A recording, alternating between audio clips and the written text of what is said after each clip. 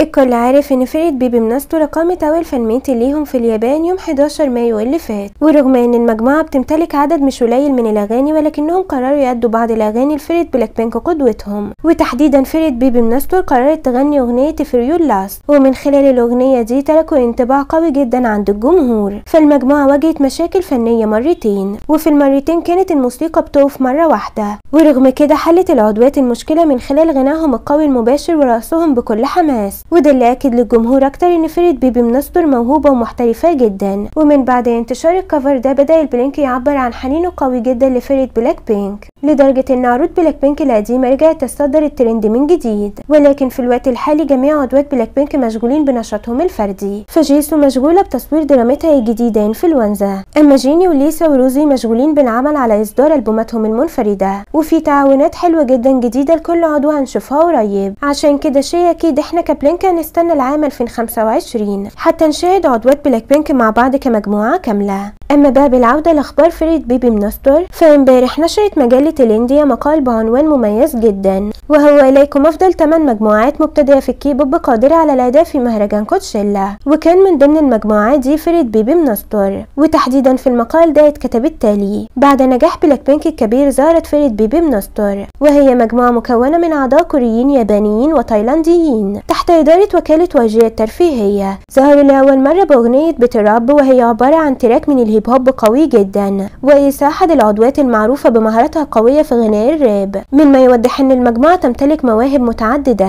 وأيضا هم مجموعة مؤهلة جدا لتقديم عرض ناجح في مهرجان كوتشيلا 2025 وطبعا من بعد انتشار المقال ده في كل مكان اتفاعل معاه عدد كبير من المعجبين. ودي بعض من التعليقات. هذا رائع. wow في البداية هاجمت شيكيتا لمجرد أنها عبرت عن رغبتها في الأداء في كوتشيلا. والآن يريد الجميع من بيبي منستو للأداء في كوتشيلا. وغيرهم تعليقات كتيرة جدا. اكتب لي في التعليقات أنت رأيك كيف أخبار النهاردة؟ وما تنساش الاشتراك في القناة عشان يوصلك كل جديد عن بلاك بينك